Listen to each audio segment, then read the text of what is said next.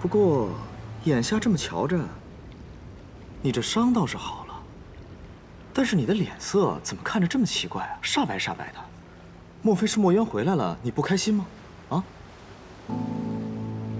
我挺开心的，我哪儿不开心啊？那你怎么一副魂不守舍的样子？兴许是因为方才我用了法术，一时没缓过来。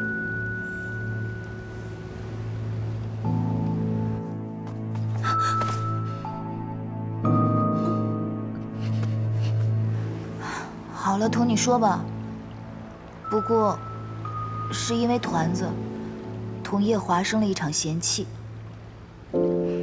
之前团子在我那里喝了两口果酒，谁知道小孩子酒量那么差，他醉了七八个时辰都没醒过来。我觉得这本不是多大的事情，叶华看到了就同我生气了，还说我没把团子当成亲儿子来照顾。我一时气不过。就说了些重话，我让他去找他的侧妃照看他儿子，别再来找我。那阿离才多大一个娃娃呀？你给他喂了那么些酒，醉了七八个时辰都没醒过来，也不派个人报夜华一声。而且你这个当后娘的，也不知了去向。他若心中没有半点起伏，那委实也是个人才。按照你的性子，往常这种事也就当个笑话罢了。可这次却赔了一身的风度，还端出了他那个侧妃，卯足了劲儿刺激他。你这么反常的行为，该不会是吃醋了吧？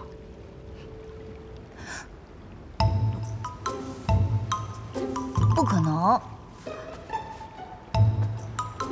不过，我上九重天这两日，气度确实大不如前了。看见那素锦侧妃，全身都不对劲。也受不了夜华，他说了我两句。莫非我真的是吃醋了，还醋了这么久？你果然是吃醋了。不会吧？我整整大了他九万岁，如果动作快点，孙子都有他一般大了。我还想着帮他纳几房貌美的侧妃呢。四哥，若我真的对他有感觉的话，当时他向我表白的时候，至少我心里应该有感觉吧？什么？他竟然向你表白了？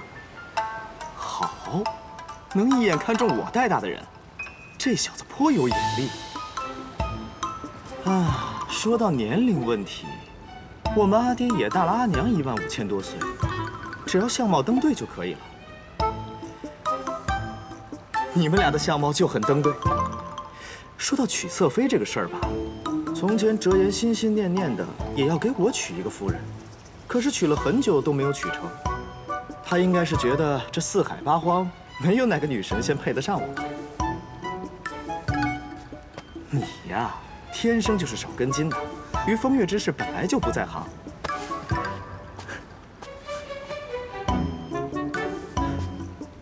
我问你啊。他若走了，你有没有什么不习惯的？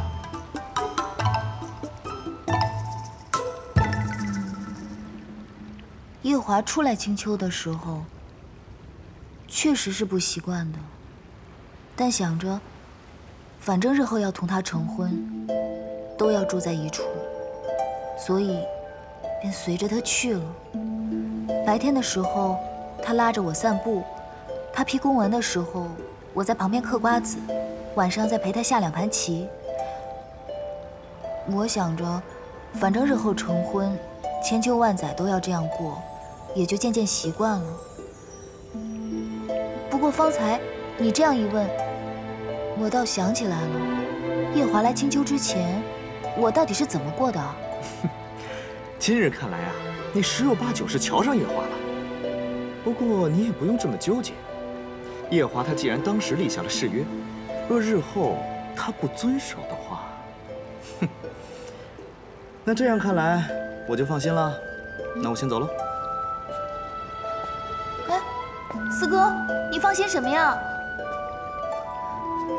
那他真的违背誓言了，那我该怎么办啊？若我是真的对夜华动了心，那我白潜这十四万余年，岂不是越活越回去了？姑姑，我进了他们的膳房，给姑姑做了一些小菜，快来尝尝。我们家小九真是好，尤其是这一手厨艺。你不在那一个月，我都快想死你了。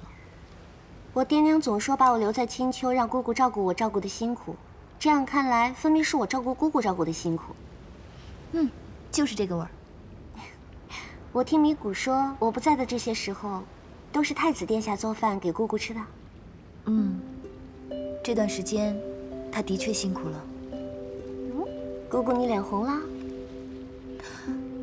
没大没小，拿我开玩笑是不是？姑姑你动情了。凤九来给姑姑倒酒。庆祝姑姑终于铁树开花有心上人了，而且啊，这个心上人还是姑姑未来的夫婿，真的是圆满。恭喜归恭喜，但这酒我就不喝了。为什么？姑姑不是心情好、心情不好都可以喝酒的吗？再说了，都已经找到魔元上神的元神了，这酒啊，自然是要喝的。因为我要不眠不休地看着这劫破灯三日，所以我不能喝酒。哦。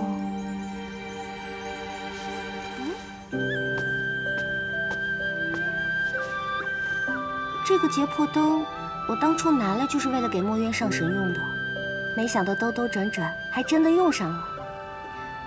姑姑是怎么得来的呀？是夜华亲自送来的。太子殿下亲自送过来的？嗯，不错。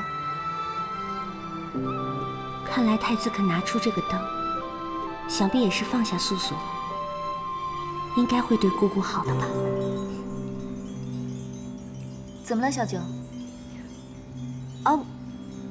我就是在想，这个结魄灯真的有那么大的用处吗？你可别小看这个灯，你看，如今我不就是用它来恢复师傅的元神吗？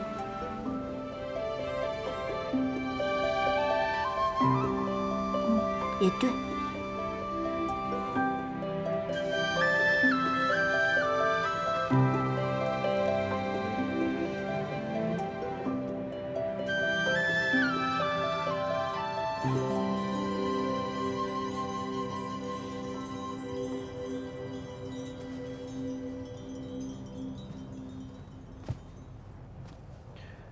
每年这个时候都是宫里桂花开的时节，阿离每每这个时候都会身上起疹子，务必用秋葵煮水擦身，才能缓和症状。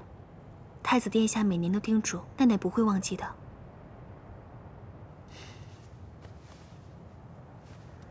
下去吧。